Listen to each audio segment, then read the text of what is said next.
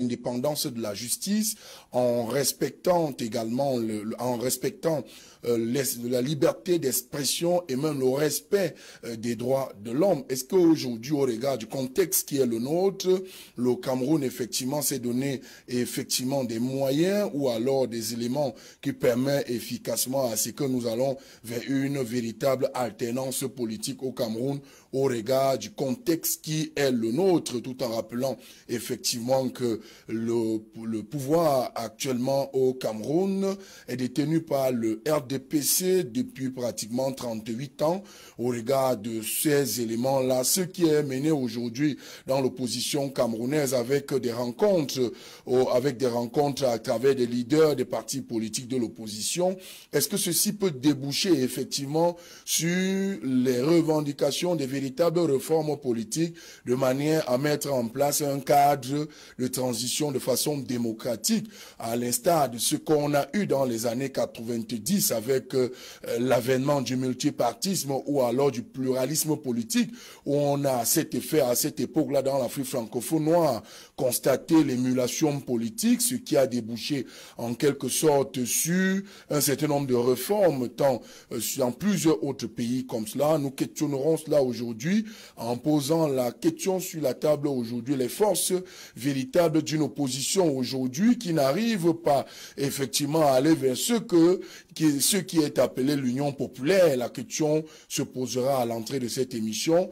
également en débat nous discuterons sur le rapport euh, de ce qui est qualifié aujourd'hui comme Covid-Gate au Cameroun en s'interrogeant sur le silence de l'Assemblée nationale qui était supposé en réalité le 25 juin dernier mettre cela euh, à l'ordre du jour au Parlement, mais on a pu constater le statu quo et même le silence en tout cas de cette chambre-là.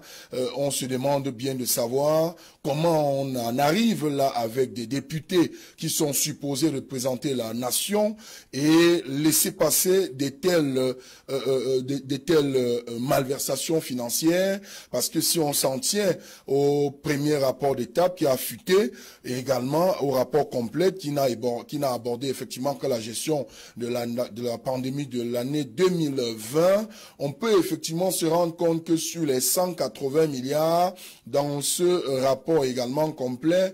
Le gouvernement, ou alors le plan de riposte, a englouti 167 milliards sur les 180. On se demande bien, est-ce qu'aujourd'hui, il ne serait pas judiciable ou alors important de rendre public ce rapport de façon transparente, de manière à donner au peuple camerounais aujourd'hui de compte sur cet argent qui a en réalité également d'autres dettes contractées où le Cameroun, l'État du Cameroun payera cela de toutes les façons, mais cela fait couler beaucoup d'encre et de salive, mais la représentation nationale a effectivement esquivé ou alors a gardé le silence sur ce qui est considéré aujourd'hui comme une autre malversation financière euh, du siècle au Cameroun dans le cadre de la gouvernance au Cameroun.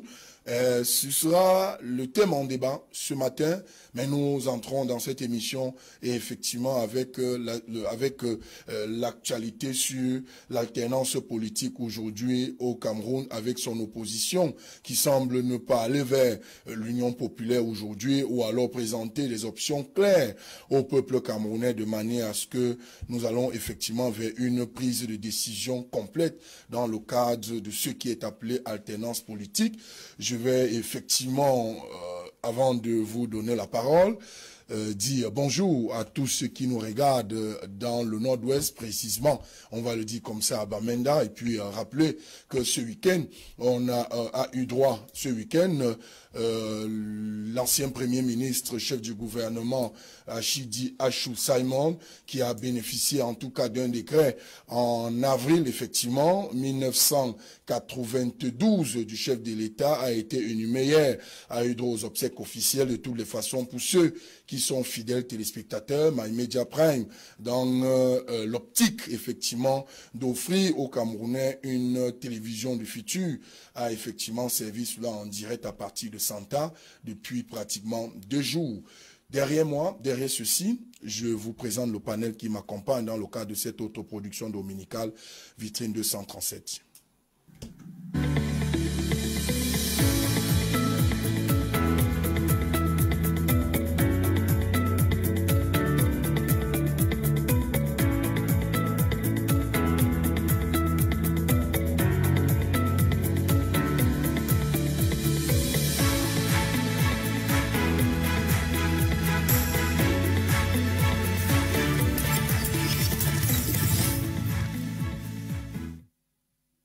Merci de retour sur ce plateau de vitrine 237 de ce dimanche 4 euh, juin 2021.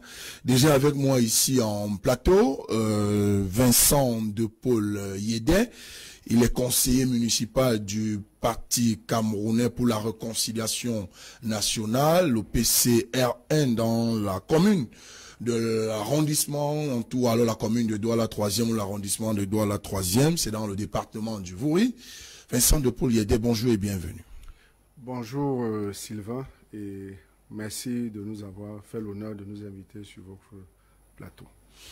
Merci bien. Un autre qui est déjà sur ce plateau, lui, c'est également un autre acteur qui a participé en réalité à l'émulation de la presse camerounaise dans son ensemble au début des années 90. Il a participé, il a été au début de plusieurs combats aujourd'hui pour la démocratisation en tout cas de l'audiovisuel et même de la vie publique au Cameroun.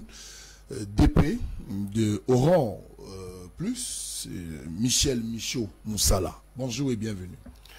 Bonjour Sylvain, bonjour à tous les téléspectateurs de votre chaîne. Je la découvre. Vous savez bien que ce n'est toujours pas aisé quand vous êtes sollicité sur plus de 15 plateaux en une semaine. C'est un peu télévision et radio confondues. Vous, et vous, une publication de deux fois la semaine où vous deviez participer pratiquement comme, comme journaliste à 40% des articles qui doivent être écrits. je me réjouis d'être avec vous. Je pense que j'ai estimé que la thématique d'aujourd'hui euh, nous interpellait.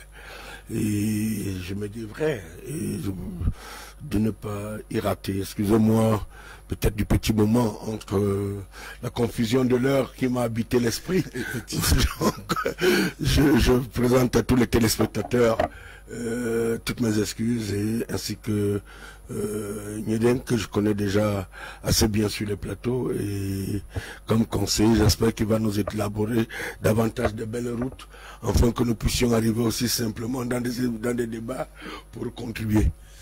Merci bien. C'est aussi cela le secret, en tout cas de la télévision, c'est qu'en réalité en off, avant d'être en direct, on a effectivement un ensemble d'éléments à mettre en place entre euh, le problème de nos routes, l'aménagement urbain, qui quelquefois euh, donne droit à certains invités d'arriver en, retard, mais également, autre chose, c'est que l'élégance républicaine, pour un certain nombre d'acteurs publics au Cameroun, beaucoup n'ont pas encore pris également au sérieux, effectivement, la notion de temps en matière de débat euh, télévisé au Cameroun. Mais nous y sommes. Abel Elimbi Lobert, effectivement, me dit également qu'il n'est pas loin de nous, y compris le maire Joseph Espoir Bion. Mais nous ouvrons, nous entrons dans cette émission. Je commence par vous, Vincent de Paul. Euh, nous parlons là d'alternance politique. Et, puis, euh, ce qui nous vient à l'esprit aujourd'hui, c'est qu'en réalité, il est bon d'y penser, mais d'y penser avec une opposition qui est structurée, qui est organisée, qui a une capacité euh, d'unir ou alors de fédérer, en, tout cas les Camerounais. Mais ce qui saute à l'œil aujourd'hui, en réalité, c'est que l'opposition camerounaise, après 90, après l'événement de la Bolle, n'arrive plus à fédérer. On se demande bien quelles sont ses potentialités face à l'alternance inévitable du Cameroun aujourd'hui. Non, de toutes les façons, hein, euh, l'opposition camerounaise a conscience, n'est-ce pas, de, toutes les qui ont été siennes jusqu'à tout récemment encore. Et c'est fort de tout cela que qu'une plateforme a été mise sur pied, euh, laquelle plateforme a d'ailleurs euh, fait l'objet de, beaucoup de critiques euh, lors de sa mise en place parce que les gens ne croyaient pas et en plus l'information n'avait pas fuité. Donc les gens n'ont pas pris au sérieux cette plateforme de travail qui s'était mise sur pied. Mais je voudrais bien vous rassurer et rassurer les Camerounais qui nous regardent que les responsables des partis politiques de l'opposition sont en train de travailler. Sont en train de travailler. Ils ont commencé. Le prétexte était euh, la révision de, du code électoral de, de tout le processus électoral, mais en réalité, commencer à se parler, commencer à regarder dans la même direction, commencer à se projeter, n'est-ce pas, sur les prochaines séances. C'est ce qui est en train de se passer. Et je voudrais euh, vous rassurer ici que le climat est serein et ces responsables vraiment savent qu'ils n'ont pas droit à l'échec. Mais ça, c'est un discours qui s'apparente à une propagande qui ne se matérialise pas dans le contexte qui est le nôtre aujourd'hui. C'est que l'opposition aujourd'hui démontre plus de défaillance que de discours qu'elle tient euh, au, Camerounais, Vincent de Paulet. Si vous voulez bien m'écouter, je vous dis très bien que tout ce que vous dites est vrai. Sauf que, fort de tout cela, il y a des responsables qui se sont mis ensemble et ont décidé de ne plus repasser par les travers. Je voudrais vous rappeler que trois responsables, trois anciens candidats à l'élection présidentielle font partie de cette plateforme. Et je vous assure que les travaux qui se tiennent à ce niveau-là sont tellement sérieux que d'ailleurs il n'y a pas de fuite. Vous ne savez pas ce qui se passe à l'intérieur. Donc ce n'est pas la propagande et c'est un travail n'est-ce pas, de fourmi qui est en train de se faire. Donc, euh, nous souhaitons tout simplement qu'il continue dans, dans cette ambiance-là. Et bientôt, une communication va être faite et des démarches vont être entreprises pour une large ouverture, pour partager. En 2004, on a eu le même discours à la veille de la présidentielle de 2004, où on a eu des acteurs de l'opposition, des leaders au sommet qui ont règlement participé au présidentiel, se mettre ensemble. La suite, on la connaît. Si en 2004, il y avait une échéance brûlante où chacun voulait faire passer en premier ses propres ambitions, maintenant, il n'y a aucune échéance à côté. Donc, on peut comprendre que les gens travaillent en toute sérénité. Et je vous rappelle qu'il y a un secrétariat. Vous pouvez penser, j'ai évoqué dans le sujet introductif que celui qui, a qui, qui dirige au Cameroun est quand même à 38 ans et a plus de 85 ans. Oui, mais nous parlons de ce que nous faisons au niveau de l'opposition il est clair que le parti au pouvoir se prépare également, est en train de... il affûte aussi ses propres armes. Mais je dis pour ce qui nous concerne et ce qu'on a commencé, pour ce qu'on a commencé à faire, prenez votre mal en patience et je comprends que vous mettez en doute le travail que nous faisons, la qualité de travail qui se fait pour l'instant. Mais je vous rappelle que quoi de mieux pour le pays que les leaders, les principaux responsables des partis qui se tiraient dessus ces derniers temps s'asseyent autour d'une même table et se parlent et discutent de manière conviviale pour penser Cameroun. Il y a de cela six mois, ce n'était pas possible. Mais actuellement, c'est ce qui est en train de se faire. Donc, je vous invite tout simplement à nous encourager, n'est-ce pas, à encadrer ce travail qui est en train de se faire. Nous encourager ne veut pas effectivement qu'on laisse passer quelque chose qui peut s'apparenter encore comme une autre escroquerie politique ou comme la poudre que vous voulez jeter aux yeux des Camerounais. Mais attendez au moins qu'on commence à communiquer là-dessus. Je vous ai indiqué la période de 2011 où on a vu une plateforme appelée G11. On a vu effectivement des multiples plateformes comme cela. Mais le fond, c'est qu'en réalité, l'opposition n'a pas de projet au Cameroun. C'est ce qui se, ce qui se dégage peut-être. Non, ça, c'est votre point de vue. Mais je voudrais quand même vous faire observer que non seulement le contexte a changé, mais les acteurs ne sont plus les mêmes. C'est pas les mêmes acteurs de 2004 qui sont là en 2021. Et je vous dis que ici, il n'y a pas d'enjeu direct. Il n'y a aucune échéance là qui soit prévue dans les prochains mois. Donc, il y a de quoi travailler en toute sérénité. Et aujourd'hui, le travail qui se fait, c'est un travail purement technique et intellectuel. C'est-à-dire que la politique est d'abord à côté. C'est un travail purement technique et c'est d'ailleurs pour cela qu'il y a eu la mise sur pied d'un secrétariat technique qui a fait appel à toutes les compétences en la matière. Et puis, la société civile est impliqués dans ces travaux qui sont en train d'être faits. Tous ceux qui, à un moment ou à un autre, ont travaillé sur le code électoral, n'est-ce pas, sont impliqués. Et je vous dis qu'une campagne va être menée pour aller vers les autres acteurs, parce qu'il est quand même évident qu'on ne pouvait pas commencer à, à 30, à 40, à 50. Il y a plus de 200 partis politiques au Cameroun. Bon, c'est ont commencé, et puis maintenant, ils vont donc partager leurs travaux avec leurs compères, et maintenant, ensemble, on, mènera les différentes démarches qu'il faut. Je reste avec vous. Est-ce que c'est pas euh, euh, pour vous, vous qui demandez, vous qui êtes dans une plateforme où vous demandez la révision du système électoral, c'est vous au même moment, c'est vous qui appelez les Camerounais à aller voter, à, aller s'inscrire massivement sur les listes électorales? Ceci peut nous permettre de nous dire, quel, est, quel est le rapport? Au même moment, vous dites, on reforme le système électoral, au même moment, vous dites, allez vous inscrire massivement. Oui, mais nous l'avons déjà dit et nous ne le dirons jamais assez, n'est-ce pas? Euh, La révision du code électoral n'empêche pas aux citoyens camerounais d'aller s'inscrire. Nous avons sorti les chiffres tout récemment et on s'est rendu compte que le Cameroun, qui a plus de 21 millions d'habitants, n'a jamais pu avoir 4 millions d'électeurs. Il y a un seul problème là-dessus. C'est-à-dire, ça n'a rien à voir avec le code électoral. Et si vous voulez que je vous dise, en réalité, le RDPC mobilise et sécurise son électorat. C'est-à-dire qu'il n'y a pas des gens qui soit enclin à voter le RDPC et qui ne participent pas aux élections.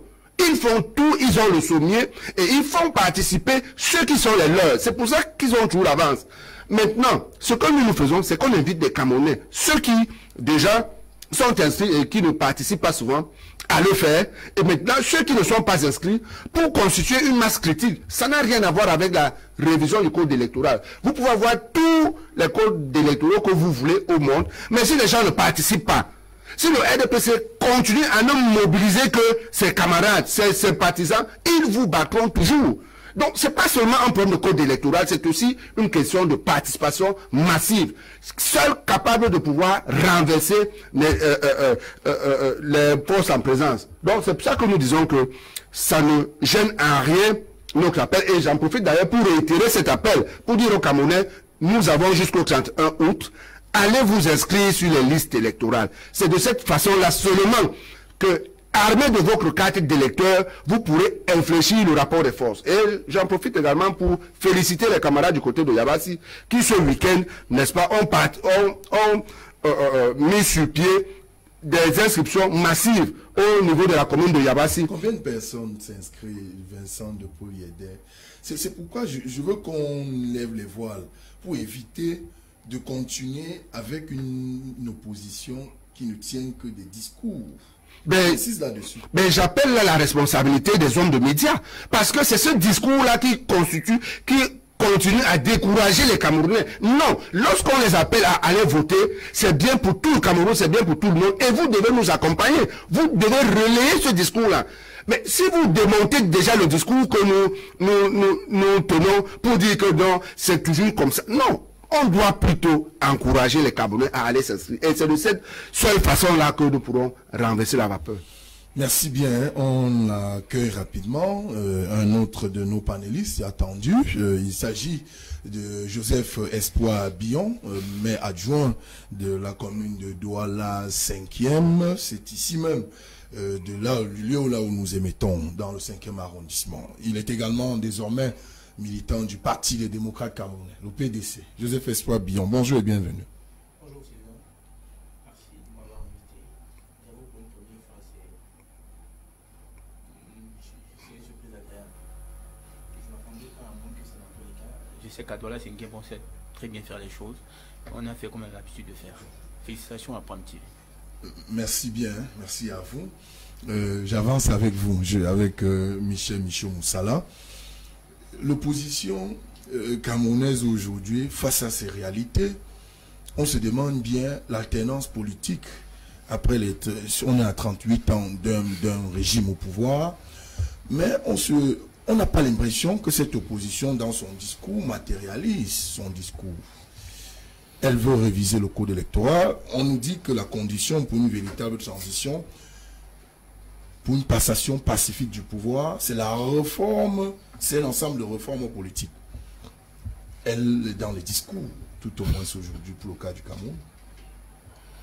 Bien, écoutez, euh, vous avez parlé, Sylvain, de l'alternance. Vous savez, il y a des mécanismes politiques qu'il faut implémenter pour qu'on en arrive à des situations un peu très programmées. J'ai écouté euh, euh, Vincent. Je crois qu'il a, abordé ça à sa manière, mais moi, à plus de 36 ans d'expérience, je suis journaliste politique, j'ai vécu beaucoup de scènes. quand nous voyons à l'époque hein, la mobilisation qui se faisait autour d'une espèce d'alternance.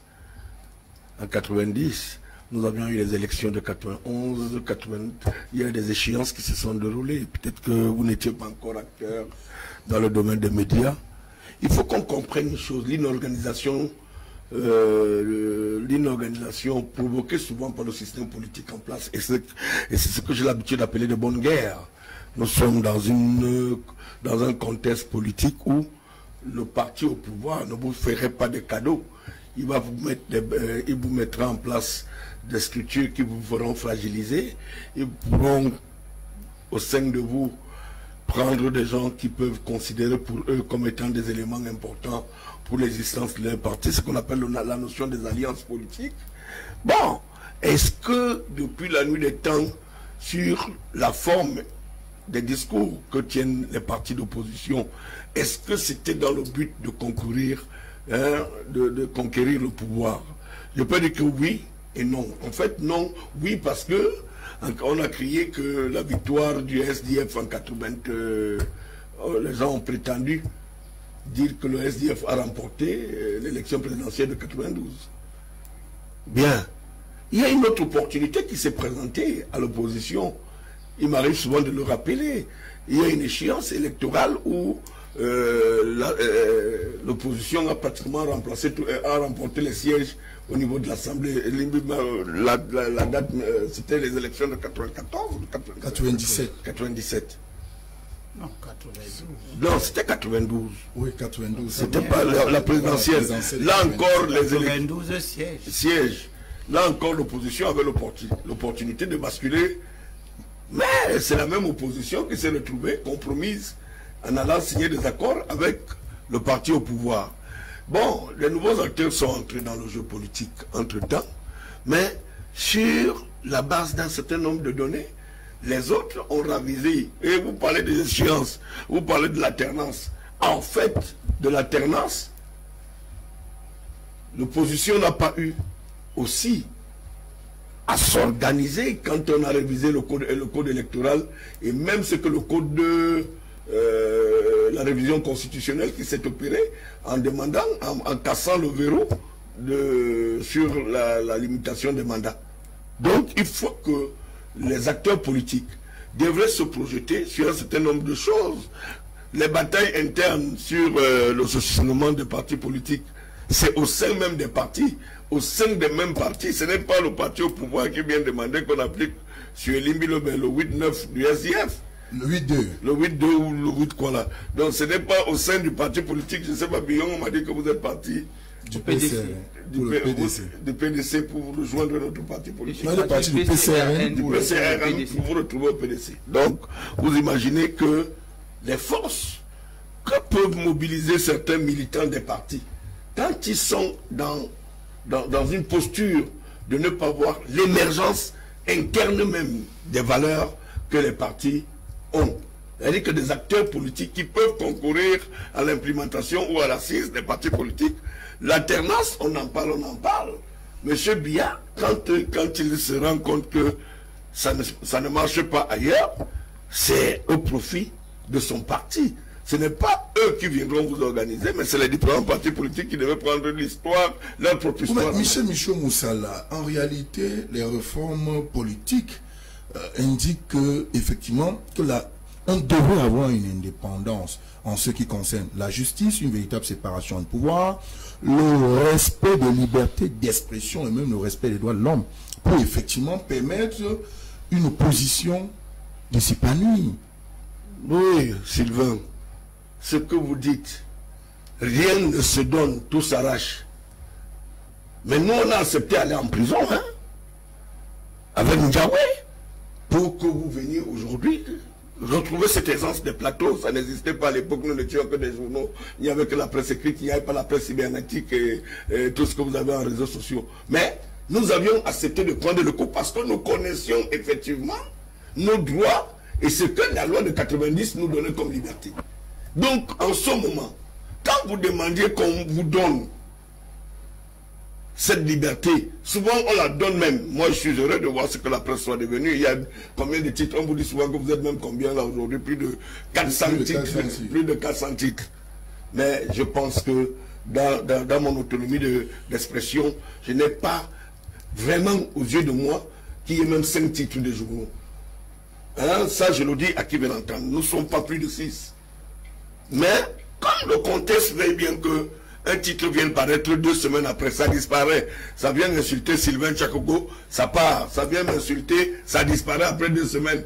Ce n'est pas ça la presse. Quand vous parlez de la liberté, telle que vous l'avez euh, elle existe. Hein. Moi, je continue. On, a, on, a, on, a, des militants, des acteurs, on a des acteurs politiques en prison. On pas du respect également de droits Je dis que c'est là, effectivement, que ça fait problème. Parce que si les partis d'opposition ne s'organisent pas à se mobiliser quand ils sont confrontés à un problème, hein, n'empêchez pas à ceux qui ont le pouvoir d'implémenter leur manière de poser des actes. Ce n'est pas eux qui vont vous donner. C'est parce que vous n'êtes pas organisé, monsieur. Et il faut que les partis... On parle là de démocratie. Si nous sommes en démocratie, si le Cameroun est une démocratie, on ne devrait pas prendre le maquis, comme l'a-t-il dit le président Paul Biya. On ne devrait pas descendre dans la rue, casser, brûler. On devrait simplement euh, euh, euh, appliquer en, réalité les éléments qui nous permettent d'avoir une démocratie juste. Sylvain, je ne sais pas comment vous voulez que je, je m'exprime à ce sujet. Si les partis politiques viennent avec, dans l'esprit, que, d'abord, ils viennent avec un projet de société, comme vous avez à le dire. c'est d'abord les projets, les projets de société qui devaient galvaniser le peuple à suivre un parti politique. Ceux qui en ont, on les considère peut-être comme des petits partis. Vous savez, dans la pyramide des partis politiques au Cameroun, il y a des partis grands et des partis petits. Il y a ceux qui pensent qu'ils sont tellement grands. Au point que les tout petits petits, là, quand il, arrive au grand un problème, les petits disent que tu as dit que nous ne valons rien. Nous t'abandonnons. Voilà la lecture politique actuelle dans, ce pays, entre les grands partis, entre les partis tribaux. Il y a des partis qui ne se contentent que de leur tribu et qui pensent que là-bas, c'est comme des, groupes armés comme ceux qui sont au Nouveau. Et que quelqu'un qui prend Bamenda, il pense qu'il a pris le Cameroun. Ce n'est pas possible. Il faut qu'il y ait une réorganisation des partis politiques. parce que c'est ça qui, qui fera mettre face au RDPC devant ses responsabilités. Parce qu'il y a quand même un excès d'abus et du zèle du RDP sur certaines choses. Mais si les partis politiques d'opposition ne sont pas organisés, c'est comme, effectivement, ils vous dameront le pion à tous les coups. Parce que si les partis politiques s'organisent, j'avais suivi Limbi qui parlait lors de l'élection présidentielle et même des municipales, de faire à ce que les partis politiques se retrouvent au même endroit et qu'ils parlent le même langage ça ne serait pas facile parce qu'il y a toujours des gens qui vont pouvoir s'infioder pour essayer de déstabiliser l'attitude politique que les partis politiques voudront bien. Et mais qu'on devienne un peu humble au sein des partis politiques parce que je vous ai expliqué tout à l'heure, il y a ceux qui sont venus en croyant que leur système organisationnel, c'est eux les leaders. C'est quand ils se retrouvent à une élection où ça présente la, la réalité, la face réelle de son parti politique. Parce que quand on te dit que tu es venu à une échéance où tu n'as même pas été à une échéance et tu continues à vouloir parler, tu n'as pas participé à une échéance, ce n'est pas, pas un mode politique applicable. Le mode politique applicable, c'est ton électorat. C'est ce que tu as vu, les chiffres qu'on t'a communiqués. Qu'on a beau réétablir le système électoral, ce qui n'est pas mauvais, qu'on a beau réécrire les lois, mais si on ne part pas, si les, les, partis politiques ne partent pas en rang serré, ils ne prendront jamais le contrôle du système politique, puisqu'ils en ont eu des opportunités, ils sont partis à rang désordonné. Ils ont donné l'occasion à RDPC de continuer. Merci bien Michel Michaud Moussala, un autre invité, le quatrième et le dernier attendu dans le cadre de Vitrine 237 de ce dimanche, Abel Elimbi Lobet. Il est déjà avec nous. Bonjour et bienvenue. Bonjour et merci de m'avoir associé à votre réflexion dominicale. Et bonjour également à vos téléspectateurs, certainement, que je connais. Merci. Hein. Euh, je vais tout d'abord donner la parole au maire Joseph Espoir Billon. On questionne les capacités de l'opposition camerounaise aujourd'hui à participer à une, alternance politique dans le contexte qui est le nôtre. On évoque là effectivement une notion de transhumance également, ce qui fragilise davantage l'opposition. On peut également euh, questionner l'offre politique que l'opposition aujourd'hui propose aux Camerounais, sa capacité d'union populaire, à l'aube des années 90, on a vu une opposition qui crée de l'émulation, mais aujourd'hui, elle est dans les discours, me semble-t-il. Joseph Espabillon. Merci Sylvain. Je voudrais rappeler que l'objectif d'un parti d'opposition, ce n'est pas de créer l'émulation, c'est de conquérir le pouvoir. Euh, je vais vous donner euh, quelques similitudes. En Côte d'Ivoire, Ouattara a réussi à, prendre le pouvoir parce qu'il y a les éléments du système en place qui se désolidarisent du maillon fort et se rallient à lui.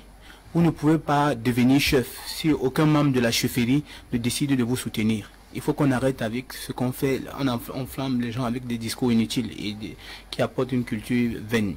Je voudrais vous rappeler une chose. Pour prendre le pouvoir, même dans une chefferie de troisième degré, il va falloir que dans cette chefferie, il y ait quelqu'un qui vous copte, qui vous prenne, qui vous amène dans les arcanes du pouvoir, qui vous enseigne comment on se place, comment on se plie, comment on parle, comment on s'adresse dans ce milieu-là. On ne va pas partir de nulle part parce qu'on vous dira je suis le Messie, j'ai un destin, les dieux m'ont choisi et les gens vont venir acclamer pour vous au goudron et on dira c'est vous l'alternance. Il faut qu'on arrête avec l'imposture et qu'on passe aux choses sérieuses.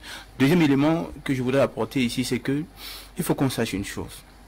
Si on a besoin d'alternance au Cameroun, il faut arrêter le discours RDPC, parti d'opposition. Il n'y a aucun parti au Cameroun qui s'appelle parti d'opposition. Il faut recadrer le débat. Le Cameroun a 330 partis politiques à l'heure actuelle. Et parmi les 330 partis politiques, chaque parti politique a sûrement un programme, a des statuts, un règlement intérieur. Permettez, problème permettez un peu. De la recherche. Dans tous les pays au monde, il y a plusieurs partis politiques. Dans tous les pays, même aux États-Unis. Encore plus même qu'au Cameroun.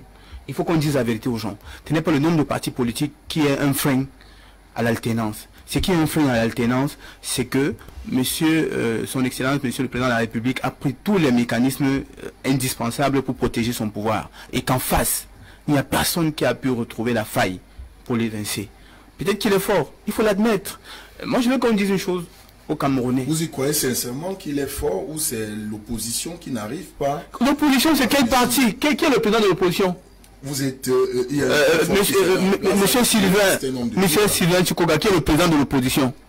Qui est le leader de l'opposition? Qui conduit l'opposition? Depuis quand il y a une plateforme qu'on appelle l'opposition? Il faut que vous nous arrêtiez, ça changer le discours, organiser le débat normalement, permettons aux gens de travailler et de réfléchir sur ce qui est vrai.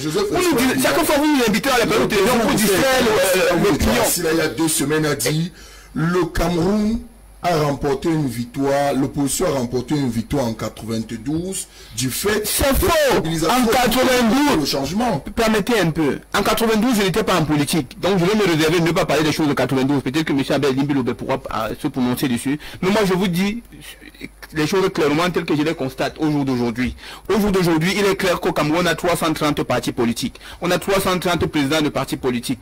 On a donc euh, des divergences sur ce plan-là et qui n'empêche rien. La preuve, chaque fois qu'on a une élection présidentielle, on n'a pas eu plus de trois partis politiques qui ont occupé plus de 99% des voix. C'est parce que les Camerounais savent faire la différence. Et même mille partis politiques, on aura toujours les trois là qui seront plébiscités. Mais parmi les trois, il y a un qui est tellement plébiscité que les autres. Les, élections de 2018, on a vu, ce n'est pas parce qu'on avait neuf candidats qu'on a partagé les voix parmi les neuf. Il y a ceux qui ont pratiquement eu zéro. Mais aujourd'hui, pour eux, c'est un CV qui ont été candidats. Il y a des gens qui sont candidats parce qu'ils veulent avoir le CV que j'ai été candidat. Ce n'est pas parce qu'ils viennent gagner. Maintenant, il y a ceux qui viennent parce qu'ils veulent conquérir le pouvoir, ils veulent gagner. Moi, je dis, il faut vraiment qu'on... Arrêtons avec les distractions, allons à l'essentiel. Aujourd'hui, qu'est-ce qui est urgent pour notre pays? L'alternance, qui est forcément un mode de démocratie, ou la souveraineté, qui est indispensable pour notre économie pour tout ce qu'on a à faire. On se casse la tête chaque jour avec alternance, alternance, alternance. L'alternance va faire comment pour que cette maman qui n'arrive pas à manger chez elle, le président pour dire 88 ans. Vous avez encore le discours de l'alternance. C'est évident qu'il y aura alternance. Le, signe de la vie nous montre que quelqu'un qui a 88 ans ne sera pas présent dans 20 ans. Oui. Alors mais vous allez nous casser encore la tête avec l'alternance. C'est quoi l'alternance? C'est évident, c'est là, l'alternance est là. Avant de sortir de cette pour dire l'alternance au Cameroun, ça ne dépend pas de Bia, ça ne dépend pas de vous, ça ne dépend pas de moi. Dieu a décidé ici, il y aura l'alternance au Cameroun, qu'il le veut ou non. Maintenant, je veux qu'on sache une autre chose. C'est que nous devons nous concentrer sur ce qui est indispensable et essentiel. Et ce qui est indispensable et essentiel, c'est notre souveraineté. Mais on, ne saurait parler, d'alternance alors qu'on n'est pas souverain. convoquer la notion d'une république, d'une démocratie. Mais justement, on, nous évoque effectivement également le respect des droits de l'homme. Permettez-moi de puiser dans notre histoire, Sylvain. Rappelez-vous que en 56, euh, Monsieur André Marin Bida a gagné une élection devant l'Assemblée euh, française face à Oujoula. Et que celui lui a valu de perdre son poste de Premier ministre face au, au, commissaire euh, français qu'on appelait Mesmer et que cela a permis que M. Amadou Aïdjo devienne président de la, euh, premier ministre du Cameroun en 58.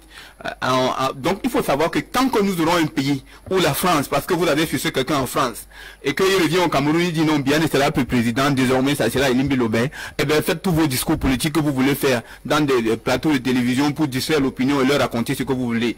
Tant que la France aura la même mise pour choisir un président comme ça a été le cas au Tchad, pour choisir un président comme ça a été le cas en Côte d'Ivoire, pour choisir un président comme ça a été le cas au Gabon, pour choisir un président partout dans l'Afrique francophone, et eh bien sachez-le, nos discours nous serviront seulement pour la télé. Je vais sortir par là en vous disant une chose, Sylvain. Moi, je suis patriote. C'est la France qui moi Et ce que, ce que, ce que je vous dis ici, ce que vous appelez non-respect des droits de l'homme, c'est une fuite en avant.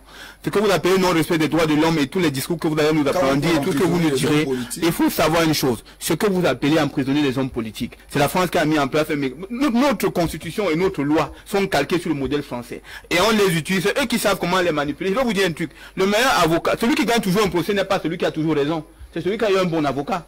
Donc vous pouvez avoir raison et perdre un procès, c'est vrai ou pas donc il faut arrêter avec l'affaire, on a, on a arrêté les hommes euh, politiques, on les a mis en prison. Aujourd'hui, vous et moi, nous savons que si on se met en route pour marcher, pour revendiquer nos droits les plus euh, euh, absolus, qui nous sont les plus dévolus, on y aura toujours un motif sur la loi. La preuve, on est sur ce plateau pour parler d'un dossier qui sera pendant, qui est pendant en justice. Donc la justice ne s'est pas encore prononcée, on sait que c'est interdit. Mais vous le faites. Si demain on vient vous arrêter avec les droits, c'est quoi? C'est liberté démocratique, c'est quoi? Moi, je vais dire un truc. Le pouvoir en place utilise les instruments que le droit lui donne pour pouvoir filer entre les lignes et obtenir et atteindre cet objectif. Aujourd'hui, recentrons le débat. Cherchons ce qui est indispensable. Les Camerounais savent faire le choix. Ils savent distinguer entre les deux. Aujourd'hui, au Cameroun, cherchez un parti d'opposition, un seul, qui soit en mesure d'être représenté dans les 360 euh, euh, arrondissements du Cameroun, qui soit en mesure d'être représenté dans les 10 388 villages, qui soit en mesure d'avoir ne serait-ce qu'un conseiller municipal dans chaque exécutif communal. Vous ne trouverez pas. Il n'y en a pas en dehors du RDPC. Donc, quand vous avez les chiffres devant vous, et que vous continuez... Du RDPC, Joseph Mais c'est la vérité. Il y a ceux... Est-ce qu'il y en a pour les Attends, attends, Il y a ceux qui ont pensé que, euh, quand j'ai annoncé votre présence sur ce plateau, qu'en réalité, le discours que vous portez aujourd'hui favorise euh, euh, euh, la montée du RDPC. la preuve, c'est votre démission d'un parti structuré, la permettez, un parti qui n'a visiblement pas de repère. vous, vous, nous créez là une brèche qui, je, je pense, inutile, mais puisque vous voulez m'amener dans ça, je vais choisir volontiers d'entrer. Je vais vous rappeler une chose. Si vous pensez que je favorise la montée du RDPC, c'est que vous supposez que le, RDPC n'est pas haut. Mais c'est absurde. Au Cameroun, tout le monde sait que le RDPC fait et défait, c'est pas vrai? Nous avons vu quelqu'un qui a créé son parti politique, démissionné de son parti politique pour entrer au RDPC. Ce n'est pas vrai. Mais vous dites des choses que, je vous dis un truc, le, journaliste politique que vous êtes, ou que vous êtes censé être, doit travailler à construire une idéologie parfaite. Vous ne devez pas entrer dans des trucs de bas étage où tout le monde dit au marché en bord de route. Je veux que vous compreniez une chose. Je veux que vous compreniez une chose. Le RDPC est le parti politique le plus puissant au Cameroun, que vous le disiez ou non, c'est la vérité. Vous vous faites trop semblant. Il faut qu'on arrête à, se mentir. Il faut qu'on fasse un état de lieu de, de ce qu'on est là. Et on trouve des solutions. Parce que si vous identifiez moi le problème, vous allez proposer une mauvaise solution. Si vous voulez avoir de bonnes solutions, identifier le véritable problème. Le véritable problème aujourd'hui, ce n'est pas l'opposition, parce que l'opposition n'existe pas. Le parti politique qu'on appelle l'opposition, j'ai encore parcouru récemment euh, le site web du MINAD-D, et je n'ai pas trouvé un parti politique dedans qu'on appelait opposition. J'ai cherché aussi à rencontrer le président de cette opposition. Il n'y en a pas. Chacun ici a, un parti politique, un instrument euh, juridique qui lui permet de faire et de défaire les gens dans son entité, dans sa famille politique. Nous voulons travailler pour le Cameroun. Et moi, je dis, je soutiendrai le Cameroun, je soutiendrai la nation. Je serai du côté de ceux qui aiment le Cameroun et qui se battront pour le Cameroun. Comme Ernest Wandi, comme Osenda Afana, comme Félix Roland Moumier, comme Ruben Oumiobe, comme André Marimbila, comme Amadou Aïdjo, comme Paul Biya aujourd'hui. Chacun contribue à son niveau à apporter sa contribution. Oui, très rapidement. Euh, fait venir pour essayer de débattre sur la thématique de l'alternance. Et j'ai dit ce que j'avais à dire là-dessus. Monsieur Bia a 88 ans. Ce qui est une évidence. Monsieur Bia est censé partir du pouvoir, un de ces, pas un de ces quatre. Démocratiquement, c'était par la voie des urnes qu'il fallait faire partie Bia. Et c'est la seule voie officielle qu'on puisse savoir. Maintenant, sur le plan organisationnel, je dis bien que qu'on ne donne pas de la friandise à ceux qui tiennent le pouvoir. Parce que nous constations que si nous laissions, il y a déjà les franquistes, il y a déjà tout ce mode opératoire qui se met en place pour que la continuité du système politique actuel, qui porte préjudice énormément au Cameroun, pour vous voyez que nous nous retrouvons dans un, dans un où des, prébandiers, certains prébandiers ont pris la République en otage il ne faut pas trouver deux mots pour pouvoir les qualifier. Ça, j'engage et j'assume mes propos, parce que dans un contexte politique normal, c'est l'élégance transactionnelle qui, qui importe. Est-ce que c'est pas la voie des urnes? Oui, il faut que ce soit pas la voie des urnes. Est-ce que on doit faire comme on a fait ailleurs, où le père passe le pouvoir à l'enfant, où l'enfant prend le pouvoir d'une manière comme d'une autre, par les armes, par euh, une autre méthode C'est ça que nous redoutions. Parce que si ça a été très beau chez les autres, ça n'a pas fait deux semaines de crash. Nous sommes, vous pouvez compter le nombre d'ennemis au Cameroun.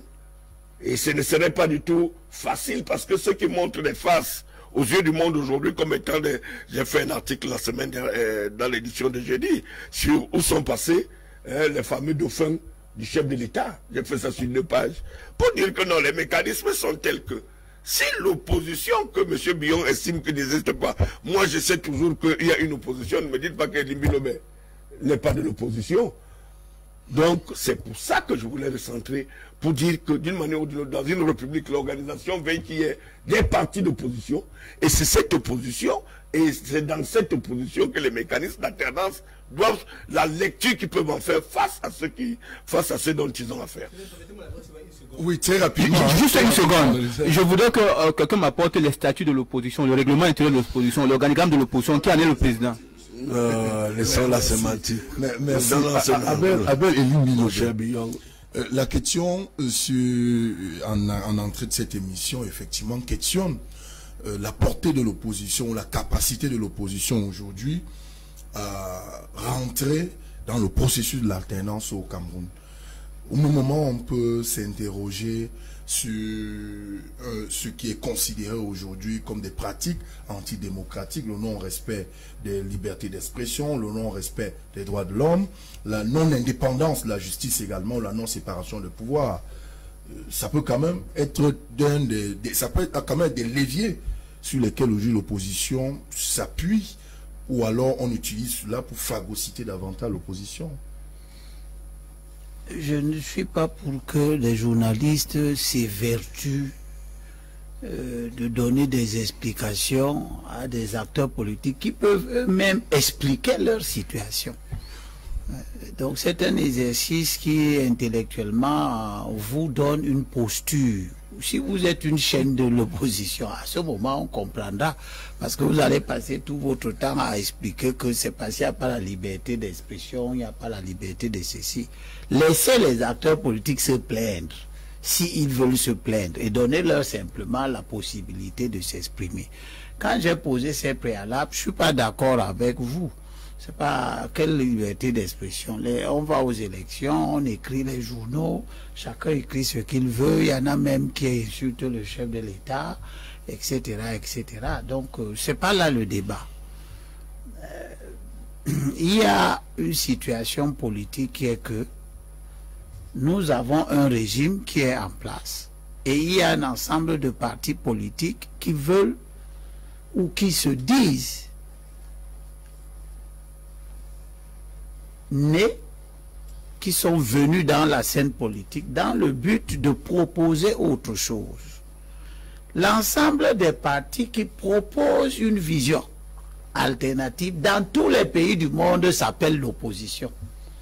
Donc le soufisme de M. Bion ne doit pas être... Euh, doit, doit, doit, doit, il faut qu'il arrête ça. Mais c'est la preuve qu'il y a un problème au sein de l'opposition. Ce n'est pas ça qui est le problème Il est de l'opposition. Euh, oui, bien sûr qu'il est, sauf si lui-même il dit que son parti, le PDC, est un parti allié à celui qui est au pouvoir. Parce que il y a... Non, ne prends pas la parole. Tu viens de parler pendant plus de 15 minutes, on t'a écouté. Dans tous les pays démocratiques du monde, la liberté d'association s'exprime aussi à travers des alliances politiques. Parfois même ces alliances politiques se font entre des adversaires après des élections. Vous avez très bien vu en Allemagne, la CDU n'a pas eu la majorité à la Bundestag. Son parti qui vous le combattait, c'est le SPD. Qui n'a pas aussi eu la majorité, mais qui a eu moins de suffrages que le, la, la CDU. Mais pour avoir une assemblée nationale stable, les dirigeants de la CDU, avec Angela Merkel en tête, ont fait une alliance de gouvernement avec le parti qui voulait les renverser. On retrouvait ça en Israël tout récemment. C'est des partis qui se combattent, qui sont parfois l'un de l'extrême droite, l'autre de l'extrême gauche, qui se sont mis ensemble. Tout ça, ce sont les variantes de la liberté d'expression et de la liberté d'association. Mais ça ne veut pas dire qu'il n'existe pas une opposition pour dire aux gens quel est le parti d'opposition, blablabla. Non, si vous allez en France maintenant, les Français vont vous dire que Mélenchon est dans l'opposition. Le Parti socialiste français est un parti d'opposition en l'état actuel des choses. Euh, comment il s'appelle, Madame Le Pen et le, euh, le Rassemblement national, c'est un parti d'opposition.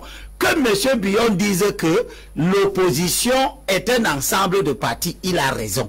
Mais s'il dit que l'opposition n'existe pas, là, il fait du blabla pour intéresser je ne sais pas qui. L'opposition existe. Sauf si lui, dans le PDC où il est maintenant, il dit que ce n'est pas un parti, mais il était dans le PCRN, qui est un parti de l'opposition camerounaise. Et c'est à titre, en tant que parti de l'opposition, que ce parti est allé aux élections contre le RDPC dans un ensemble de circonscriptions, parmi lesquelles Douala 5, où lui, il a été élu sous la bannière du PCRN. Donc il ne faut pas faire des choses comme ça, entretenir la confusion dans les esprits. Maintenant, quand on a fini de poser ces préalables-là, est-ce que nous pouvons renverser démocratiquement le RDPC En l'état actuel des choses, aucun parti de l'opposition n'a les moyens démocratiques. Et quand je parle de moyens démocratiques, je parle de trois choses les moyens politiques, c'est-à-dire la ressource humaine, la structure, l'implantation territoriale, c'est ça que j'entends par moyens politiques. Aucun parti n'a les moyens financiers, parce que la politique se fait aussi avec de l'argent. Il faut financer les partis politiques. Il faut qu'ils fonctionnent. Il faut qu'ils s'implantent. Il faut qu'ils euh, fassent des manifestations. Ça se paye. Ce n'est pas gratuit. Faire un meeting, ça, nécessite de l'argent. Pour louer les chaises, les bâches et tout ça, ça, se- a besoin d'argent. Donc les partis n'ont pas ces moyens-là. Ça, c'est le deuxième élément. Le troisième élément qui empêche, c'est le côté idéologique, le discours politique. Quelle est la place de l'idéologie dans une euh, démocratie comme la nôtre? Mais les idéologies, l'idéologie, ce n'est pas seulement le libéralisme ou le communisme. L'idéologie, c'est l'ensemble des idées que vous structurez à l'effet d'organiser une société. Ça peut être quelque chose qui n'a rien à voir avec le communisme.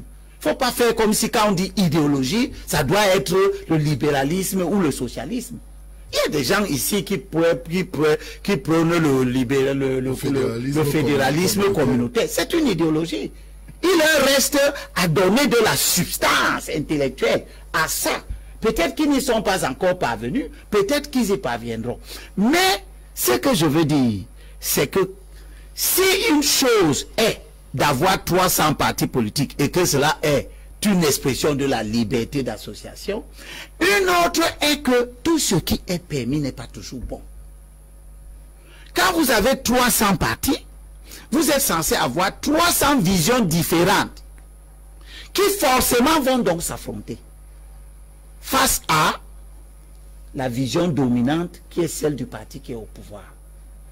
Or, l'expérience, c'est-à-dire l'examination, je préfère dire l'examen, ou l'observation de, la réalité du terrain, c'est que plus il y a des discours, moins les électeurs parviennent à se situer entre l'État unitaire décentralisé et ceux qui disent retour au fédéralisme et ceux qui disent retour au fédéralisme communautaire et ceux qui disent sécession et ceux qui disent régionalisme euh, comme Jean-Jacques Kindi avec 10 régions euh, autonomes etc etc ça, le ça fait non c'est pas la même chose. Le SDF parle d'une fédération à 10 États. Encore que lui-même n'a pas fini de se définir. Est-ce que c'est une fédération ou selon le modèle ancien, c'est-à-dire un État francophone et un État anglophone, vous avez à l'intérieur du SDF des gens qui disent on ne peut plus rentrer vers ça, mais on peut avoir une fédération où les 10 régions seront des États fédérés. Donc, ça leur conférera des statuts bien particuliers. Ça, c'est un autre discours. Donc, plus il y a de discours comme ça, moins l'électeur est capable de comprendre et de choisir. Bion dit tout à l'heure, les électeurs choisissent. Oui, il a raison. Les électeurs nous montrent que dans cette prolifération de discours, ils finissent par choisir. Mais regardez donc comment ils choisissent. Dans cette prolifération de discours, leur choix nous montre que leur comportement nous montre que ils choisissent ce qu'ils connaissent par habitude, c'est-à-dire le RDPC qui est là. Et une grande partie des électeurs ne choisit plus rien du tout c'est l'abstention. Et la conséquence. Qui est de l'ordre de 40%. Mais c'est la conséquence. Et, même plus. C'est la conséquence de la non-structuration, de, de, discours ambigu ou la non-structuration. Mais c'est ce que suis en train de dire, non? Exactement. Que cette prolifération des discours fait en sorte que, intellectuellement, l'électeur ne se positionne plus.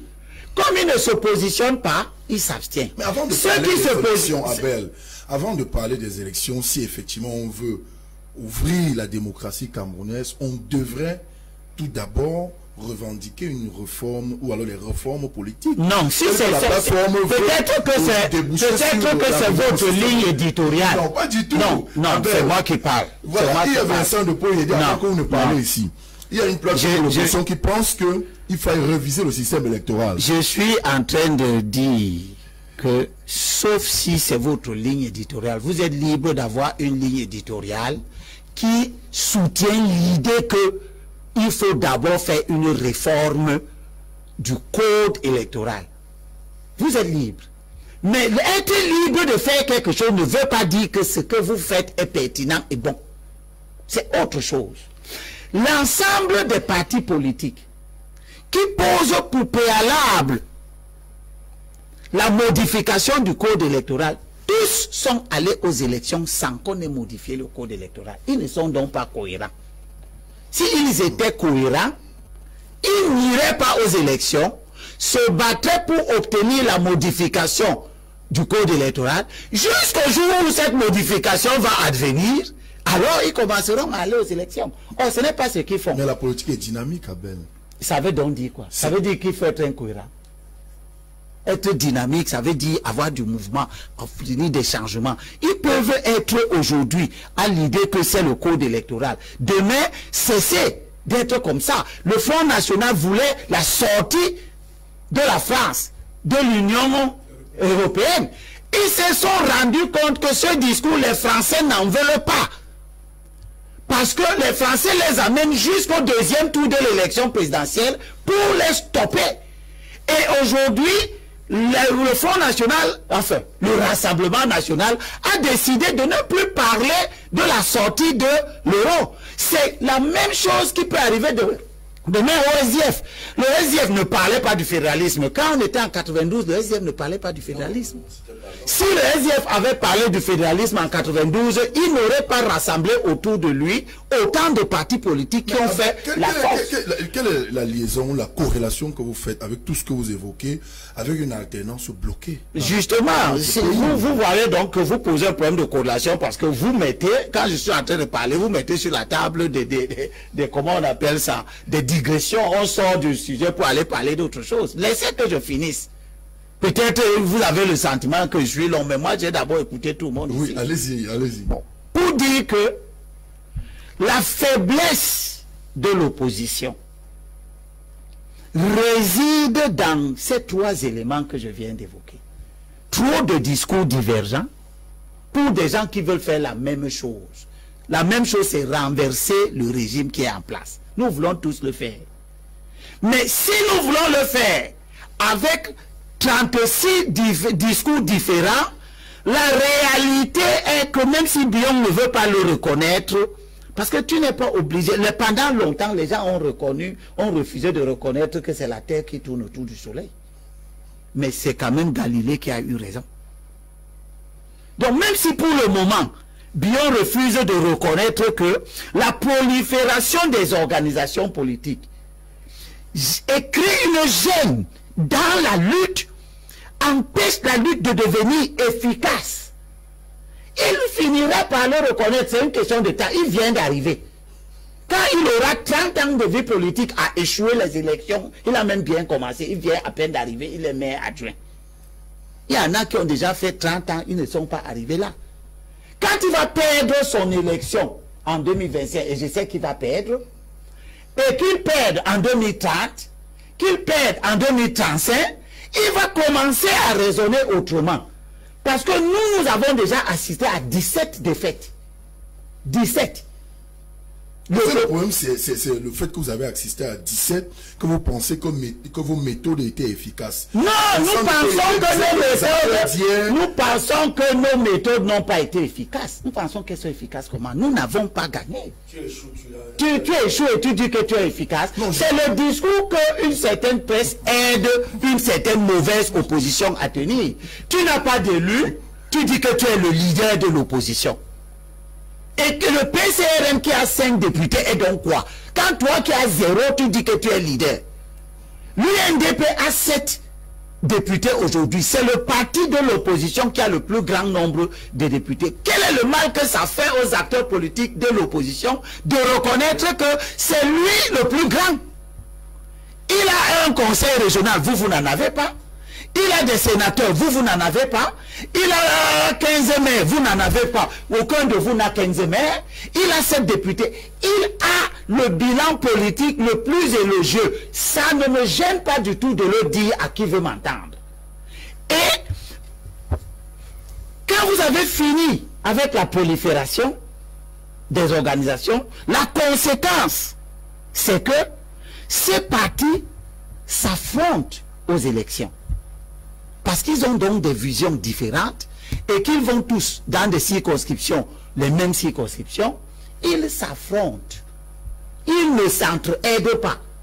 Quand le PCRN ira aux élections en 2025 dans l'Union Ekele, contre l'UPC, ils ne parleront pas le même ah, ah ben, il y a quelqu'un qui il y a des messages qui nous parviennent sur notre plateforme parce qu'il faut rappeler que nous sommes également en direct sur tous les autres plateforme de distribution d'images en interne et à l'extérieur du Cameroun et même sur notre page Facebook. Quelqu'un des messages qui arrive là qui estime que vous n'êtes pas de l'opposition, que votre discours ne met pas sur la table les contingences qui amènent l'opposition aujourd'hui à, finalement à, questionner l'existence de l'opposition au Cameroun. Oui, ça, il peut. Contingence qui rentre dans l'ordre de ce que j'ai évoqué ici, la primauté sur un certain de un certain nombre de respect pour effectivement donner des forces à l'opposition. Il, il, est dans l'exercice de la liberté d'opinion. Il pense que je ne suis pas de l'opposition. C'est ce qu'il pense. C'est tout. Je fais des commentaires là. Pourquoi Je ne vais pas me battre pour lui prouver que je suis de l'opposition. Si je lui prouvais ça, il va me donner Ma quoi? question, c'est effectivement, aujourd'hui, l'opposition demande de mettre sur la table, ou alors de résoudre, d'aller vers une solution des J'ai déjà compris.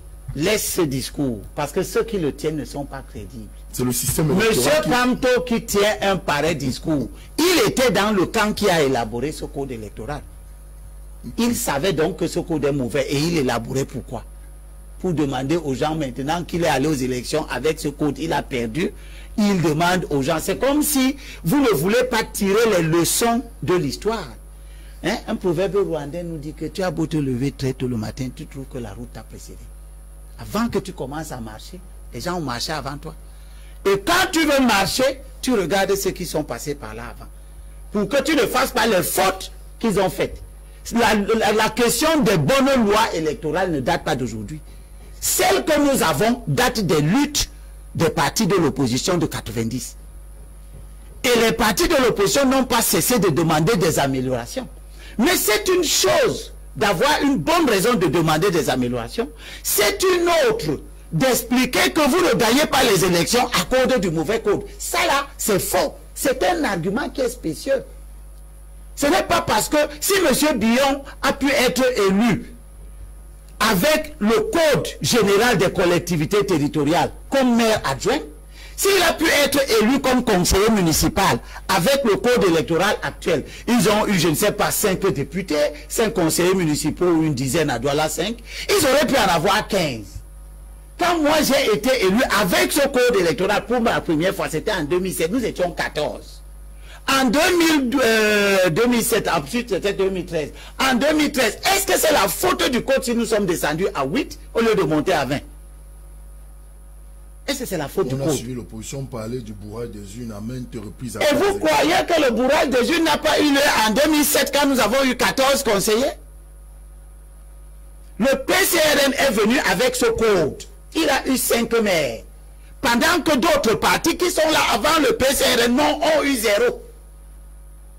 Le, le- quand le PCRN vient à la vie, il trouve ce code, il a 5 depuis 5 et 5 mairies qu'il gagne.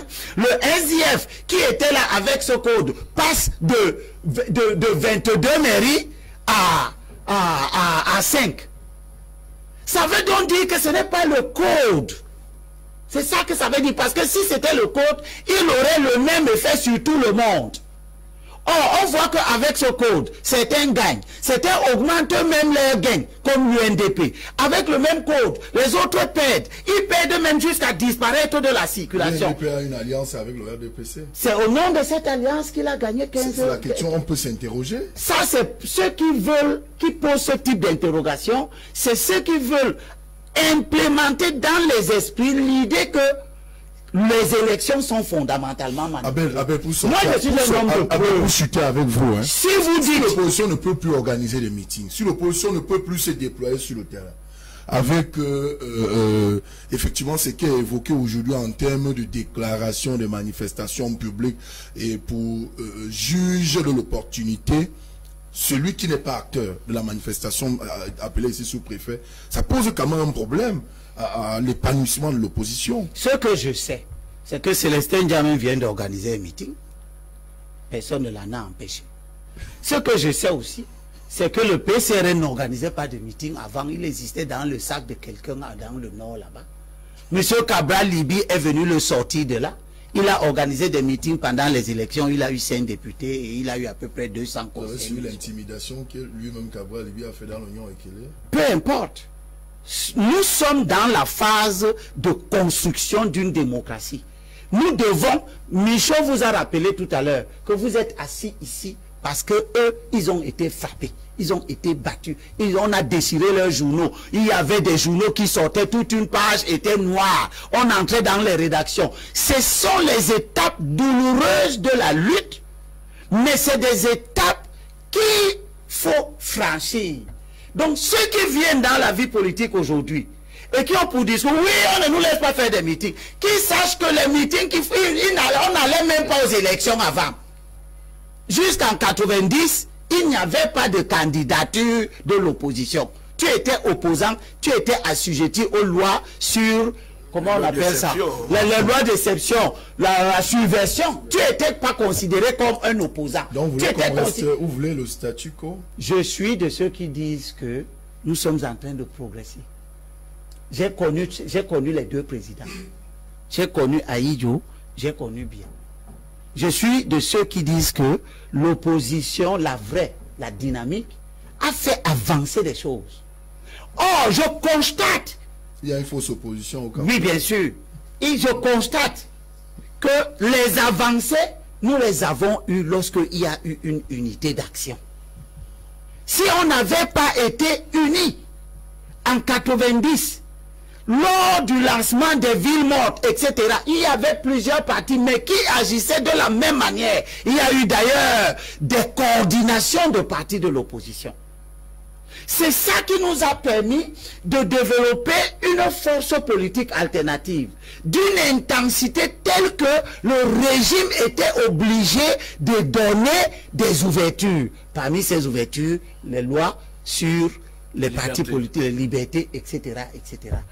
Aujourd'hui, les partis ont perdu l'idée de l'unité d'action. En commençant par le SDF, qui était l'un des centres neuralgiques de cette unité d'action, et qui était celui qui a profité le plus de l'unité d'action. Il aurait dû continuer à implémenter la culture de l'unité d'action. Non pas que les partis politiques disparaissent, mais que ces partis politiques s'efforcent d'harmoniser leur méthode de lutte, leur discours. Et pourquoi pas? Et pourquoi pas? Parce que si le parti unique a eu lieu, n'oubliez pas qu'il y avait d'abord plusieurs partis qui se sont mis d'accord pour devenir un parti unique.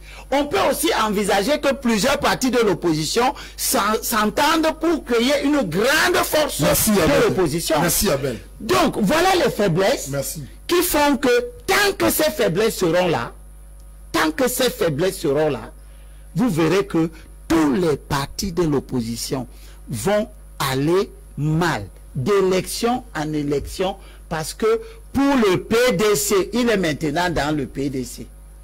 Il était dans le PCRN. Son prochain adversaire juré, c'est le PCRN.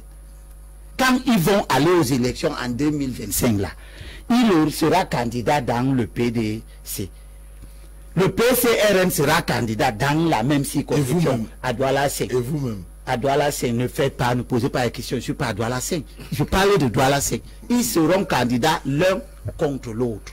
Le RDPC qui est leur adversaire ultime, ils ne vont pas d'abord se battre contre le RDPC. Merci, Ils vont se battre pour que le PCRN échoue. Merci. Parce que Bion veut montrer que je suis parti du PCRN. Vous voyez alors que quand je suis parti, vous êtes Merci, Et le PCRN va chercher à montrer que il, a, il est parti, il n'est plus rien devenu parce que c'est le combat qui a nuit au SDF. On a chassé un certain nombre de cadres. Kawala est parti. Tous ceux qui pouvaient suivre Kawala, qui devaient devenir des électeurs du SDF ont cessé de l'être. Comment qui faisait la force du SDF à l'ouest en général et en particulier dans le Hong-Kong, on l'a fait partir sous le prétexte que c'est le parti qui fait les gens. Et s'ils partent, ils ne seront plus rien. Il est parti. le SDF n'a plus jamais gagné dans le Hong-Kong. Et c'est le, comment ça s'appelle, l'UMS. C'est l'UMS que Crémont a créé qui gagne à l'UMS. Merci, Donc, l'unité d'action et je termine, je sors par là. J'ai écouté, écouté Bion. Non, vous avez terminé. C'est toi qui gardes. J'ai écouté Bion. J'ai écouté Msala. Je suis arrivé, il avait déjà probablement parlé. J'écoute dans les différents plateaux. Je suis attentivement. Je suis un homme heureux. Parce que je vois que les gens, petit à petit, sont en train d'accepter l'idée qu'ils ne pourront plus faire seuls l'unité d'action. Et c'est ça que nous avons appelé Kautal. N'ayez pas peur de rejoindre la stratégie Kautal. Kautal n'est pas un parti politique. Vous restez ce que chacun est. Le PCRN reste PCRN, le PDC reste PDC. Mais ensemble, en 2025, à Douala 5, faites une liste d'union avec Bion dedans, avec euh, le fait à la dernière. C'est ça qui l'a amené. C'est ça qui l'a amené là où il est, maire adjoint. Donc c'était pour être maire adjoint C'était une unité d'action qui l'a amené. S'il ne travaille pas pour renforcer cette unité d'action, il peut être sûr, Merci. il va être battu. Merci. Et ceux qui étaient Abel. dans le SDF, Abel. qui ont refusé l'unité d'action, ils sont tombés. Merci Abel, vous avez dit que vous chutez, pas la peine d'appeler sur le contact qui est affiché pour ceux qui appellent là, laissez uniquement vos les SMS euh, ou vos contributions. Euh, malheureusement, on a perdu euh, une vingtaine de minutes au début, au lancement de ce programme, vu les retards de- des invités. On ne pourra probablement pas évoquer le deuxième sujet parce que nous, il est 11 heures passées de 29 minutes. On devra arrêter l'émission à 11h30, peut-être 3, minutes de plus. le patron m'a invité. Toi, non, Il pas du tout. 20 minutes Pas, pas du tout, non. On a- il y a une autre émission qui, il y a une autre émission qui, qui va prendre là dans quelques minutes. Euh, Ah, avec d'accord. vous, euh, Vincent de Paul Yedin, on va rester sur ce sujet pour sortir l'émission. En réalité, à écouter Elimbi Lobin, on conforte l'idée euh, selon laquelle l'opposition elle-même, à l'intérieur de ce grand ensemble-là, a un problème. Écoutez, là où euh, je voudrais prendre là où il s'est arrêté tout à l'heure pour dire que la plateforme des partis de l'opposition, lorsqu'elle a voulu se réunir pour la première fois, elle a été interrompue, ses responsables ont été interrompus par l'inclusion d'un sous-préfet. Et depuis ce jour, ils ont déjà tenu au moins sept réunions. Il n'y a pas eu d'interdiction, il n'y a pas eu de sous-préfet qui soit venu. Pourquoi? Parce que ces gens ont pu se mettre ensemble et parler d'une même voix. Monsieur Kamto ne pouvait plus faire une réunion à Yaoundé sans qu'on ne voit la police quelque part. Mais aujourd'hui, il tient les réunions avec Abral, avec euh, Monsieur aussi. Tout cela, ils tiennent des réunions. Donc, ça voudrait dire que si on se met ensemble pour travailler, on peut avancer. C'est vrai que l'oppo- l'opposition a des tares, mais euh, Monsieur Bion, qui est ici, le maire Bion, a appelé d'ailleurs hein, à cette espèce de,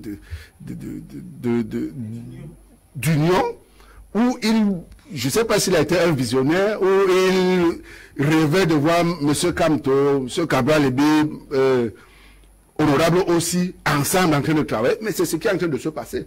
Donc nous souhaitons tout simplement qu'il euh, persiste, et d'ailleurs c'est euh, c'est ce que le grand frère a souvent dit ici, c'est ce qui est en train de se passer. Nous souhaitons tout simplement qu'il continue dans cette ambiance-là et qu'il ne se limite pas seulement euh, à la proposition de loi portant modification du code électoral ou alors au code électoral al- alternatif, mais qu'on aille un peu plus loin, n'est-ce pas, pour la mise en commun de l'ensemble des forces de l'opposition, pour élargir, pour que des, gens comme Melibi Lobe, hein, qu'ils puissent intégrer cette, cette plateforme et tous les autres grands acteurs qu'ils intègrent cette plateforme pour qu'on puisse constituer euh, euh, un noyau dur qui pourra venir avec un rapport de force qui lui soit favorable. Parce qu'en réalité, il y a un problème de rapport de force. Et puis, moi je pense également que c'est vrai qu'il y a beaucoup de partis politiques et que euh, le discours peut être diffus,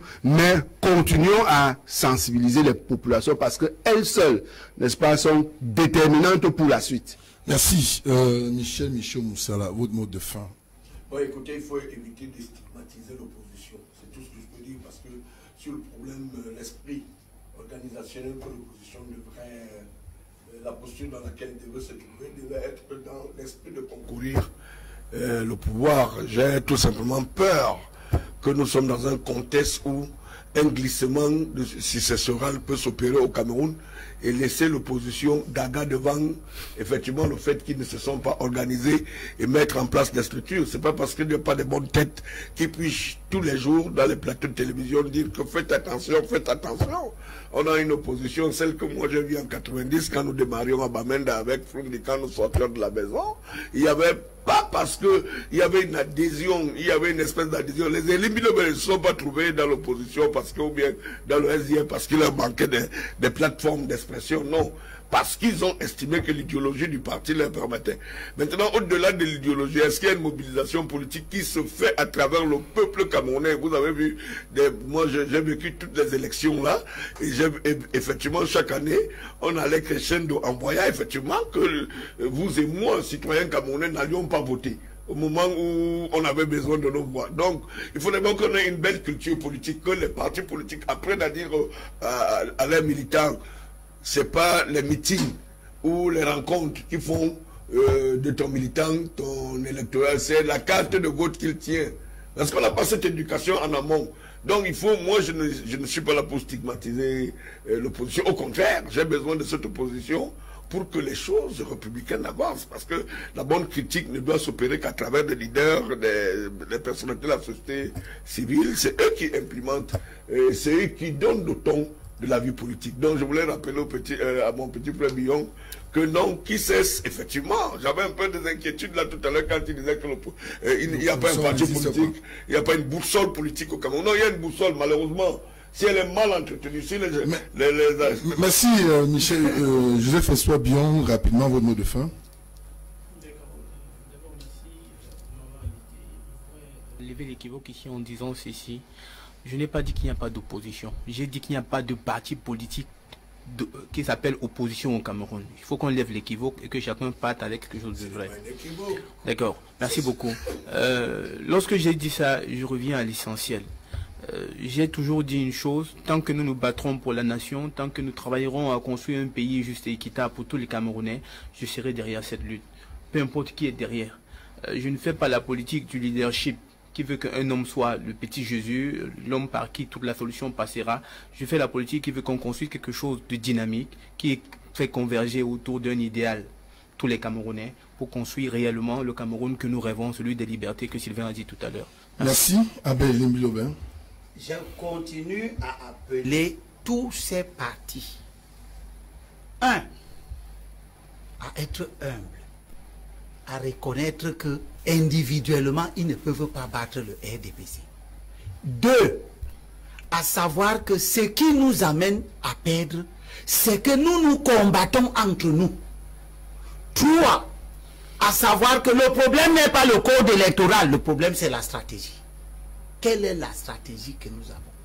Et la seule stratégie qui peut nous permettre de gagner, c'est qu'en 2025, à l'élection présidentielle, qu'on ait un candidat de large consensus. Je n'ai pas dit un candidat unique. Mais si on a un candidat de large consensus, ce candidat-là, il aura derrière lui le MRC, si le MRC est dans le consensus, il aura le PCRN, il aura l'UPC, il aura tous les autres grands partis, il aura les grands journalistes comme les Michel Moussala, il aura donc des gens qui vont amener l'énergie nécessaire pour battre le RDPC. Si nous allons en 2025 avec des listes de consensus, dans chaque circonscription, au lieu d'avoir trois, quatre listes en face de la liste du RDPC, chaque parti amène ses quelques militants. Parce que moi, de ma vieille expérience, j'ai fait deux élections législatives et municipales. Merci Abel. 40% des gens qui sont dans une liste ne sont même pas les militants. Merci.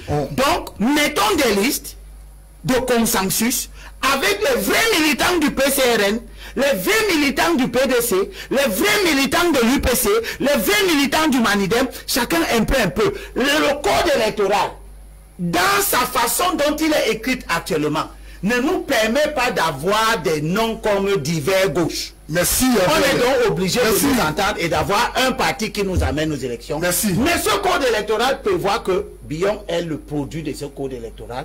Il a été élu sous PCRN. Il a démissionné. Il est toujours maire. Merci. Il est toujours conseiller municipal, mais maintenant PDC. Et donc, on peut entrer comme UPC sous la bannière du PCRN. On peut entrer comme SDF Abel, sous la bannière du Abel, PCRN. C'est la stratégie. Merci, si on ne la fait pas, Bia va gagner les élections, va même gagner toutes les élections de 2025. Je serai celui qui va l'aider à gagner si vous essayez de ne pas suivre le principe que c'est l'unité qui va faire notre force. Merci Abel Elimbi Lobé, c'est sur cela qu'on va dire infiniment merci à l'ensemble de nos téléspectateurs, ceux qui ont pris de leur temps à nous suivre dans le cadre de ce programme dominical Vitrine 237 de ce dimanche 4 juillet 2021. Je vous dis infiniment merci Monsieur le maire Bion, merci euh, Jean-Vincent de Paul Yéden, merci Elimbi Lobé, merci euh, Michel Michaud Moussala. Ce soir, lorsqu'il est 16h30 euh, au Cameroun, euh, vous pouvez regarder en replay cette autre édition de Vitrine 237, également mercredi soir lorsqu'il sera 21h passé les 30 minutes. Restez sur la suite des programmes de My Media Prime Télévision, la télé du futur. À dimanche 10h.